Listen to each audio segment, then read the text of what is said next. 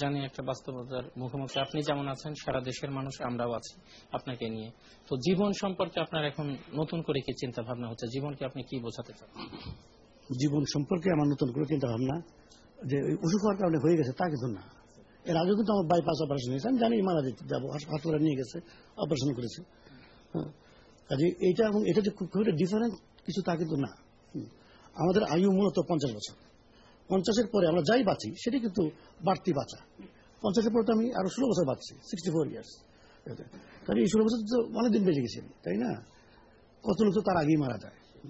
একটা road accident হয়, অমুক হয়, তমুক হয়, আমার একটা ডিজিজ হয়েছে, চিকিৎসা চলছে, এটা নিয়ে মাথা কামাচ্ছে না আর যদি মারা যেতে হয় মারা গেলাম। হ্যাঁ এটা এমন নতুন কিছু তো না।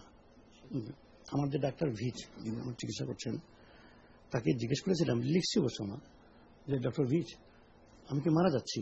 এম আই ডাই ডক্টর ভিচ কিছুক্ষণ আমার দিকে তাকা থাকলেন তাকে তাকে থেকে বললেন ইয়েস ইউ আর ডাইং আমি তো খুবই ঘাবড়ে গেলাম, সব নষ্ট হয়েছে। ক্যান্সার এমন পর্যায়ে যে সে অনকোলজিস্ট পৃথিবীর সেরা অনকোলজিস্টের একজন, সে বলছে ইয়েস ইউ আর ডাইং আমি সঙ্গে সঙ্গে অ্যাকসেপ্ট করলাম যে হ্যাঁ তাই অ্যাকসেপ্ট করার সাথে কিছু নাই। তখন এই ভদ্রলোক আমার স্ত্রীর দিকে তাকিয়ে হেসে দিলেন। কারণ সে সি ওয়াজ অলমোস্ট ক্রাইং সেই সময়। হাসিতে বললেন, আমি এটা বলেছি, কারণ উই অল আর ডাই এই অর্থে বলেছি যে you are die don't take it otherwise all are die সে ভালো লাগল আমার কাছে শুনে। আসলে তো তাই আমরা তো প্রত্যেকেই মারা যাচ্ছি। আমরা হঠাৎ করে ক্যান্সার হয়ে গেছে বলে সমস্ত পৃথিবী সব ছেড়ে ফিরে দিয়ে আউলিয়া দরবেশ হয়ে যাওয়ার কিছু নাই। মারা গেলে মারা যাব, কি আছে? এটা আমার বাবা তো, বাবার চেয়ে আমি বেশি বেঁচেছি।